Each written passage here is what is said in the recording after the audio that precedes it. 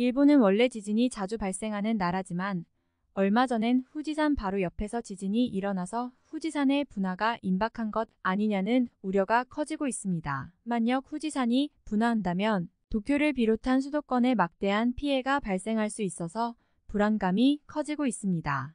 최근 후지산의 저주파 지진에 대한 경고를 잇따라서 지진 전문가들이 내놓고 있습니다. 현재 저주파 지진 등의 분화 던조 현상에 대한 주장으로는 후지산의 지하 약 20km에는 고온의 액체 마그마로 채워진 마그마 덩어리가 있다는 주장이고 이것이 지표까지 올라오면 분화가 시작된다는 주장입니다. 후지산의 저주파 지진은 인체에 느껴지지 않는 작은 지진이지만 그럼에도 불구하고 이 지진이 중요한 이유는 이 저주파 지진은 잠시 쉬고 있던 마그마의 활동이 시작되었을 때에 일어난다는 점입니다. 우리가 아는 고주파 지진과 같이 암석이 깨질 때의 부분이 아니고 후지산 지하에 있는 액체 등이 흔들리면서 저주파 지진이 최근 자주 발생하고 있다는 것입니다. 사실 이 저주파 지진은 마그마 활동 초기에 반드시 일어나므로 화산 폭발을 예측하는 데에 매우 중요한 단서입니다. 우리가 후지산의 지진에 대하여 사람이 느낄 수 있는 유감 지진 즉 고주파 지진의 발생 여부를 확인하는 것만으로 후지산이 고요하다고 생각해서는 안 됩니다.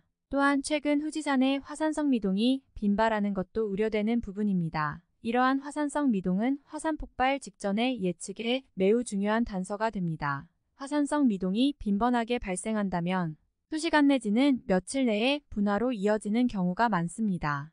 지난 300년간 분화하지 않아 강력한 힘이 축적돼 있기 때문에 만약 후지산이 폭발한다면 그 에너지는 엄청날 것으로 추측이 가능합니다.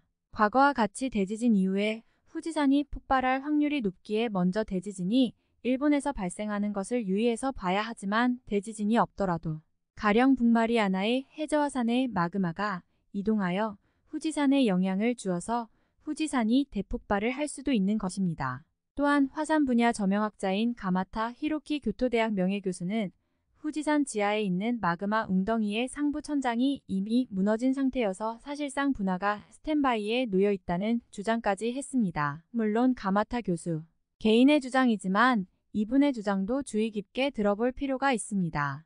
만약 가마타 교수의 주장처럼 동일본 대지진 4일 후에 일어난 후지산 직하 지진을 통해 마그마류의 천장은 이미 무너진 것이라면 현재 상태에서 대지진이 일어나 후지산 지하 마그마류가 크게 흔들리면 곧바로 분화를 촉발하는 방아쇠 역할을 하게 될 수 있습니다.